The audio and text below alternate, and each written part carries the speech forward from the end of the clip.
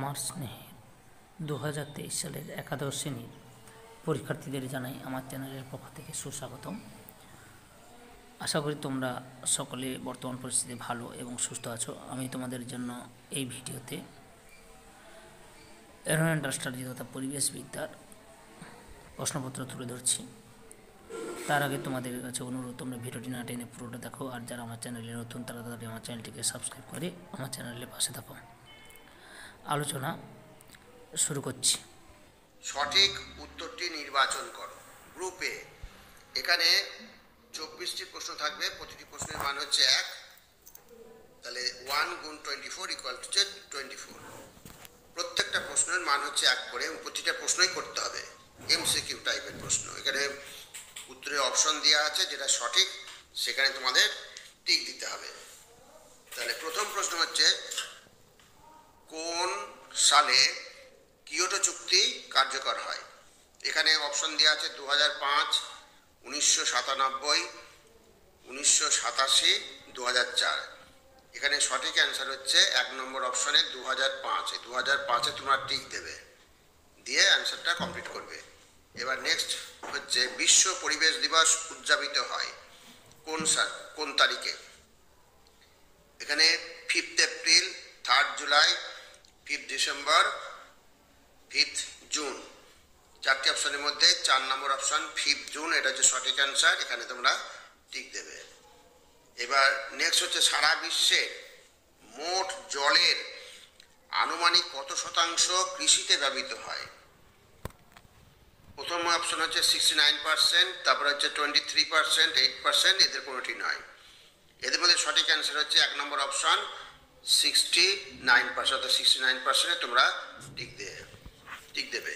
Next প্রশ্ন, রাষ্ট্রসংঘের মনুষ্য পরিবেশ সংক্রান্ত সম্মেলন কোন সালে অনুষ্ঠিত হয়েছিল?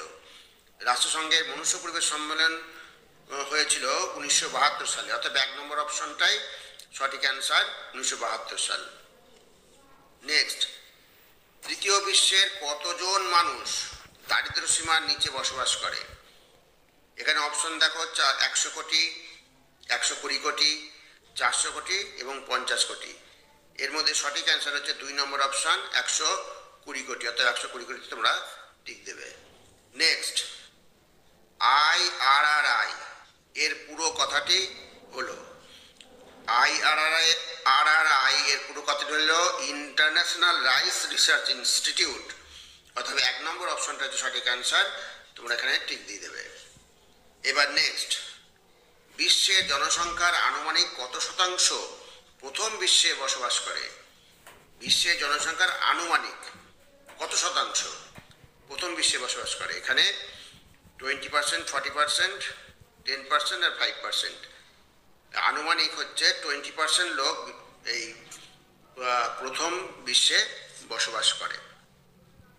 নেক্সট ভারতবর্ষে এক টন ইস্পাত তৈরি করতে কত পরিমাণ শক্তি ব্যবহৃত হয়?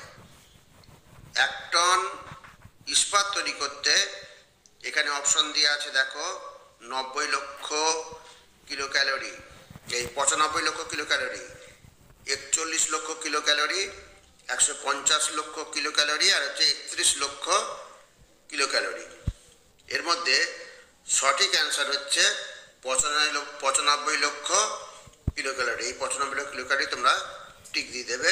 এটা হচ্ছে সঠিক অ্যান্সার এই প্রশ্নটা হলুদ কালারে করেছে। তার জন্য লেখাগুলো খুব অস্পষ্ট লাগছে। তোমরা, তোমাদের বুঝতে অসুবিধা হচ্ছে কিনা জানি না। লেখাগুলো খুব অস্পষ্ট। এবার নেক্সট প্রশ্ন দেখো। নেক্সট প্রশ্ন হচ্ছে, তিন নম্বর পেজে দেখো। বিগত পঞ্চাশ বছরে পঞ্চাশ বছরে সাহারা মরুভূমির আয়তনে কতটা বৃদ্ধি লক্ষ্য করা গিয়েছে? তাহলে সাহারা মরুভূমির আয়তনে বৃদ্ধি পেয়েছে, এখানে অপশন দেওয়া আছে, সাতশো পঞ্চাশ বর্গ কিলোমিটার, এক হাজার বর্গ কিলোমিটার, ছশো পঞ্চাশ বর্গ কিলোমিটার, এবং হচ্ছে এদের কোনোটি নয়। এর মধ্যে সঠিক অ্যান্সার হচ্ছে তিন নম্বর অপশন ছশো পঞ্চাশ বর্গ কিলোমিটার কি বৃদ্ধি পেয়েছে। এবার নেক্সট পৃথিবীর থেকে প্রতি বছর আনুমানিক কত আয়তন বনভূমি বিলীন হয়ে যাচ্ছে? তাহলে এখানে একশো সত্তর লক্ষ হেক্টর, দুশো লক্ষ হেক্টর, পঞ্চাশ লক্ষ হেক্টর এবং এদের কমিটি নয় চারটে অপশনের মধ্যে এক নম্বর অপশন হচ্ছে একশো সত্তর লক্ষ হেক্টর জমি প্রতি বছর কি বিলীন হয়ে যাচ্ছে। নেক্সট। নেক্সট হচ্ছে সমগ্র বিশ্বে প্রতি বছর আনুমানিক কত পরিমাণ উৎপাদক মৃত্তিকার ক্ষয় হয়। এখানে সাত লক্ষ পঞ্চাশ হাজার লক্ষ টন, দু লক্ষ পঞ্চাশ হাজার টন, পঞ্চাশ লক্ষ টন, এই পাঁচ লক্ষ টন আর এদের কোনোটি নয়। এই পঞ্চাশ হাজার, সাত লক্ষ পঞ্চাশ হাজার লক্ষ টন, আর হচ্ছে দুই লক্ষ পঞ্চাশ হাজার টন। তার মধ্যে এই প্রথম অপশানই হচ্ছে কি? সাত লক্ষ পঞ্চাশ হাজার টন, এটা সঠিক অ্যান্সার এখানে টিক দিয়ে দেবে। এই হলুদ কালারের জন্য লেখা প্রচণ্ড অস্পষ্ট। মানে পেজটাই হচ্ছে হলুদ কালার এবার এই আঠেরো সালে প্রশ্নপত্রটা সাদা না করে হলুদ কালারে করা হয়েছিল। এবার নেক্সট প্রশ্ন দেখো। গঙ্গা অববাহিকা অঞ্চলে বসবাসকারী আনুমানিক কতজন মানুষ গঙ্গোত্রী হিমবাহ হতে গঙ্গোত্রী হতে সরবরাহ হওয়া জল পায়? অঞ্চলে বসবাসকারী আনুমানিক কতজন মানুষ গঙ্গোত্রী হিমবাহ হতে সরবরাহ জল পায়? এখানে সঠিক অ্যান্সার হচ্ছে চারটে অপশন আছে। চারটে অপশনের মধ্যে একশো পঞ্চাশ কোটি, পঁচাত্তর কোটি, পঞ্চাশ কোটি আর একশো কোটি। সঠিক অ্যান্সার হচ্ছে তিন নম্বর অপশন পঞ্চাশ কোটি মানুষ এই গঙ্গোত্রী হিমবাহ থেকে জলের সরবরাহটা পেয়ে থাকে। এবার নেক্সট প্রশ্ন। দু হাজার সাল পর্যন্ত বিশ্বের আনুমানিক কতজন মানুষ এইডস ব্যাধিতে আক্রান্ত হয়েছে? দু হাজার সাল পর্যন্ত কত লক্ষ মানুষ? দুশো চল্লিশ লক্ষ মানুষ। এটাই হচ্ছে সঠিক অ্যান্সার দুশো চল্লিশ লক্ষ মানুষ এইডস রোগে আক্রান্ত হয়েছিল। এইবার ওজন স্তর গহ্বর কোথায় সৃষ্টি হয়? ওজন গহ্বর ট্রপোস্ফিয়ার বায়োস্ফিয়ার স্ট্র্যাটোস্ফিয়ার আনোস্ফিয়ার এই স্ট্র্যাটোস্ফিয়ার স্তরে সৃষ্টি হয়। এবার নেক্সট ভারতবর্ষে এক টন সিমেন্ট উৎপাদন করতে কত পরিমাণ শক্তি ব্যবহৃত হয়? এক টন সিমেন্ট তৈরি করতে, এক টন সিমেন্ট উৎপাদন করতে শক্তি ব্যবহৃত হয় কুড়ি লক্ষ কিলো ক্যালোরি এই এক নম্বর অপশনটা সঠিক অ্যান্সার এবার নেক্সট চিপকো আন্দোলন নেতৃত্ব দিয়েছিলেন কে? চিপকো আন্দোলনের নেতৃত্ব দিয়েছিলেন, এখানে অপশন দেওয়া আছে সুন্দরলাল বহুগুণা ইন্দিরা গান্ধী, মেধা পাটেকার আর জওয়াহরলাল নেহরু। এর মধ্যে সঠিক অ্যান্সার হচ্ছে সুন্দরলাল বহুগুণা সুন্দরলাল বহুগুণা তোমার টিক দিয়ে দেবে। তাহলে চিপকো আন্দোলনের নেতৃত্ব দিয়েছিলেন সুন্দরলাল বহুগুণা এবার চার নম্বর পেজ দেখো। চার নম্বর পেজে প্রথম পেজে প্রথম দিকে প্রশ্ন আছে, কোন ধরনের কয়লার তাপন মূল্য সর্বেক্ষা কম। লিগনাইট, বিটুমিনাস আর রয়েছে পিট, অ্যান্থ্রাসাইট। এর মধ্যে সঠিক অ্যান্সার হচ্ছে পিট কয়লা। এই পিট কয়লাটা হচ্ছে তাপন মূল্য সবচেয়ে সর্বাপেক্ষা কম। এবার নেক্সট প্রশ্ন। সমস্ত বিশ্বে কয়লার মোট সঞ্চিত ভাণ্ডারের আনুমানিক কত শতাংশ রাশিয়াতে পাওয়া যায়? এখানে যে চারটে অপশন রয়েছে twenty three point four percent twenty eight percent thirty five percent ten percent এর মধ্যে সঠিক অ্যান্সার হচ্ছে প্রথম এক নম্বরটা twenty three point four percent এবার বিশ্বের মোট ব্যবহৃত শক্তির মধ্যে উন্নয়নশীল দেশগুলি ব্যবহার করে। বিশ্বের বিশ্বের মোট ব্যবহৃত শক্তির মধ্যে উন্নয়নশীল দেশগুলি ব্যবহার করে টোয়েন্টি পার্সেন্ট তাতে চার নম্বর অপশনটা সঠিক অ্যান্সার করবে। যান্ত্রিক শক্তি থেকে বিদ্যুৎ শক্তিতে রূপান্তরিত হওয়ার একটি উদাহরণ। এখানে যে চারটি অপশন রয়েছে, তার মধ্যে হচ্ছে এই ডাইনামাইট হচ্ছে কি? যান্ত্রিক শক্তি থেকে বিদ্যুৎ শক্তি রূপান্তরিত হওয়ার একটা উদাহরণ। এবার, নিম্নের কোন রাজ্য, রাজ্যে সব থেকে কম বায়ুশক্তি উৎপাদন বায়ুশক্তি উৎপাদন করে? কোন রাজ্য সব থেকে কম বায়ুশক্তি উৎপাদন করে? এখানে কেরল, মধ্যপ্রদেশ, গুজরাট পশ্চিমবঙ্গ, এই চার নম্বর অপশন পশ্চিমবঙ্গ সঠিক অ্যান্সার এবার দেখো, নিম্নের কোনটিতে কোনটিকে সর্বজনীন দ্রাবক বলা হয়? সর্বজনীন দ্রাবক জলকেই বলা হয়? অর্থাৎ এক নম্বর প্রশ্ন হচ্ছে জল, প্রশ্নটা আমি পুরোটা পড়লাম না, জলই হবে সর্বজনীন দ্রাবক দ্রাবক। এবার নেক্সট কোন সালে ভারতবর্ষে সুনামি বিপর্যয় ঘটেছিল? এর সঠিক অ্যান্সার চারটে অপশন আছে, তার মধ্যে এই সঠিক অ্যান্সার দু হাজার চার। দু হাজার চার সালে টিপ দেবে, এটা হচ্ছে সঠিক অ্যান্সার কোন সালে চেনোবিল দুর্ঘটনা হয়েছিল? চেনোবিল দুর্ঘটনা উনিশশো পঁচাশি, উনিশশো সাতাশি, উনিশশো তিরানব্বই, উনিশশো ছিয়াশি। এই চার নম্বর অপশন উনিশশো ছিয়াশি সালে চেনোবিল দুর্ঘটনা ঘটেছিল।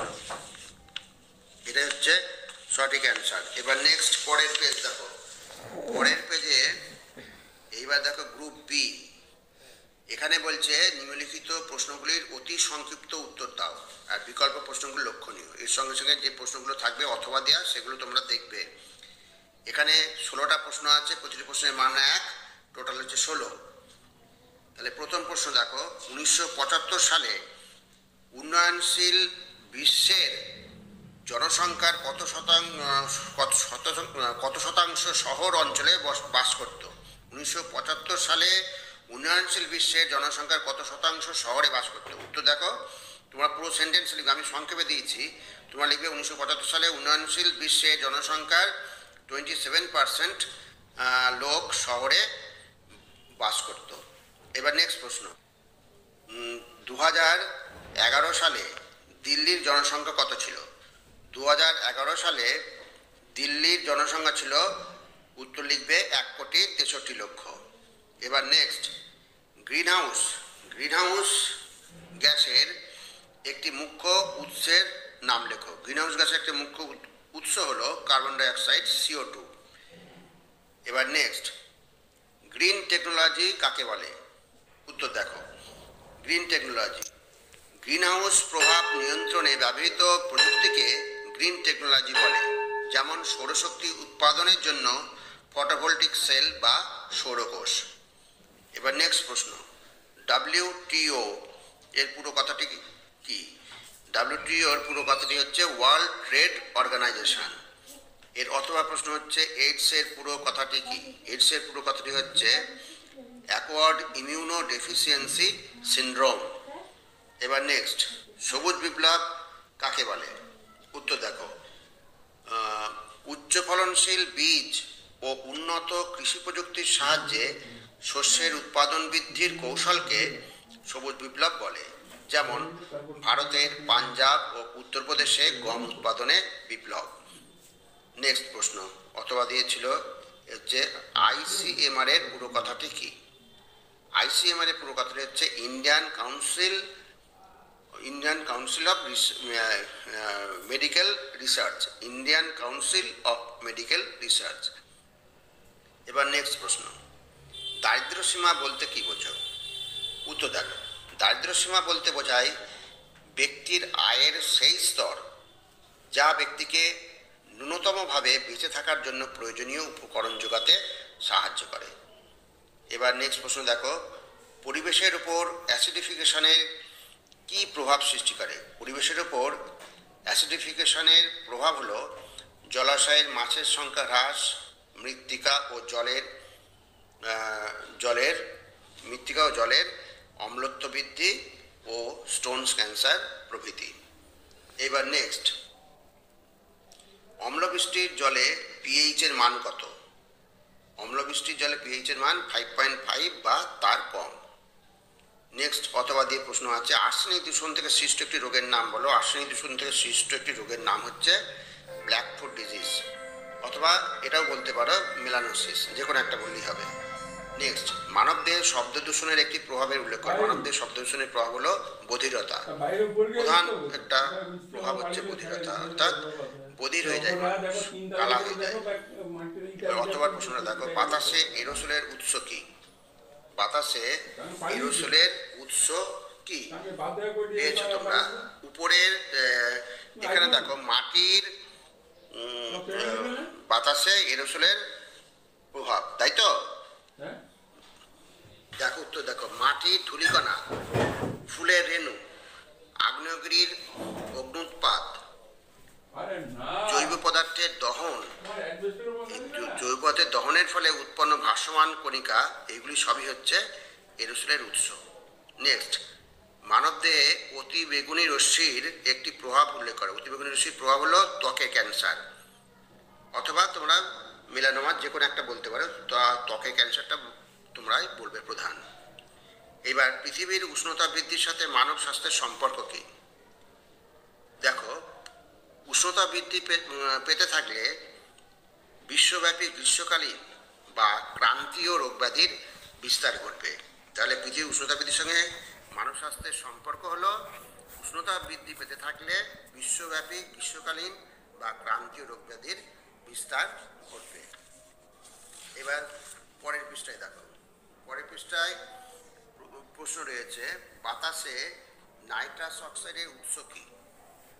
তাহলে উত্তর দেখো, প্রধান উৎস হচ্ছে ডিনাইট্রিফিকেশন পদ্ধতি। এছাড়া রাসায়নিক সার ও জীবাশ্ম জ্বালানির দহনেও নাইট্রাস অক্সাইড সৃষ্টি হয়। নেক্সট হচ্ছে, অক্সিজেন চাহিদা সম্পন্ন বর্জ্য বলতে কি বোঝো? এখানে জায়গা নেই বলে আমি অন্য জায়গায় লিখে দিয়েছি, তোমরা দেখে নাও। হচ্ছে অক্সিজেন চাহিদা সম্পন্ন বর্জ্য বলতে কি বোঝো? বায়ুপ্রণালীর বর্জ্য কৃষিজমির অতিরিক্ত জল, মনুষ্য ও গবাদি পশুর মলমূত্র এবং কাগজ ও খাদ্য প্রক্রিয়াকরণ শিল্পের বর্জ্য পদার্থ ইত্যাদি উৎসগুলির বর্জ্যের বিশ্লেষণকারী জলজ অনুজীবের সবাদ শোষণের ফলে জলে অক্সিজেনের পরিমাণ হ্রাস পায়। এই জাতীয় বর্জ্যকে বলা হয় অক্সিজেন চাহিদা সম্পন্ন বর্জ্য। এবার নেক্সট প্রশ্ন দেখো। অক্সিজেন চাহিদা সম্পন্ন বর্জ্যের পর হচ্ছে ভূমিকম্প সৃষ্টি হওয়ার একটি কারণ। ভূমিকম্প সৃষ্টি হওয়ার একটি কারণ হচ্ছে ভূ অভ্যন্তরে প্লেটগুলির স্থান পরিবর্তন ও পরস্পরের সঙ্গে ঘর্ষণ। নেক্সট ভূমিধস প- প্রতিরোধের একটি উপায় বলো। ভূমিধস প্রতিরোধের একটি উপায় হচ্ছে পাহাড়ের ঢালু জমিতে বা ঢালু এলাকায় বনরাজি সংরক্ষণের মাধ্যমে ভূমি ধসটা প্রতিরোধ করা যায়। এবার নেক্সট প্রশ্ন, ভূতাপ শক্তির একটি অসুবিধার উল্লেখ করো। ভূতাপ শক্তিকে প্রয়োজন মতো সব জায়গায় পাওয়া যায় না। এটাই হচ্ছে ভূতাপ শক্তির একটি অসুবিধা। নেক্সট কয়লা গ্যাসের একটি ব্যবহারের উল্লেখ করো। কয়লা গ্যাসের ব্যবহার রান্নার কাজে ব্যবহার করা হয়, অথবা তোমরা বলতে পারো শিল্পে ব্যবহার্য জ্বালানি হিসাবে কয়লা গ্যাস ব্যবহার করা হয়। নেক্সট প্রশ্ন, মার্স গ্যাসের উৎস কী? মার্স গ্যাসের উৎস হচ্ছে জলাভূমি। এবার অবজেক্টিভের শেষ প্রশ্ন হচ্ছে, কৃষি জঞ্জালের একটি উদাহরণ দাও। ফসল কাটার পর মাঠে পরিত্যক্ত ধান বা গমের গোড়া, এইটাই হচ্ছে কৃষি বর্জ্য। অথবা তোমরা খড় বিচালি এটা উদাহরণ দিতে পারো। তাহলে এই মোট ওখানে চব্বিশ আর এখানে ষোলো। টোটাল ছত্রিশ নম্বরের তোমাদের প্রশ্নের সমাধান করে দিলাম। এই প্রশ্নগুলো তোমরা খুব ভালো করে প্র্যাকটিস করবে। তাহলে এখান থেকে তোমাদের অনেক প্রশ্ন তোমাদের জানা হয়ে যাবে এবং পরীক্ষা আসলে তোমরা সমস্ত প্রশ্নের অ্যান্সার করতে পারবে। তাহলে স্টুডেন্টস যদি ভিডিওটি ভালো লাগে অবশ্যই সাবস্ক্রাইব করো লাইক এবং কমেন্টস করতে ভুলো না এবং তোমার বন্ধু বান্ধবদের মধ্যে ভিডিওটি শেয়ার করো। তোমরা ভালো থেকো, সুস্থ থেকো।